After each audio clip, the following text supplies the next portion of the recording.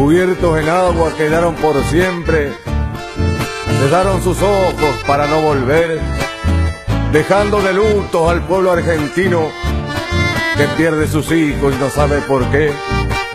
Un poncho de hielo le ha cubierto el pecho, como una mortaja el ara San Juan, y hasta el mundo entero se ha paralizado por esos marinos que no volverán, con 44 seres muy valientes enorgullecieron la flota naval y ellos trabajaban solo por monedas cuando los señores ganan mucho más. Por eso te pido, mi pueblo argentino, de que esto no sea una historia más. Yo quiero justicia para los responsables, para que los valientes descansen en paz.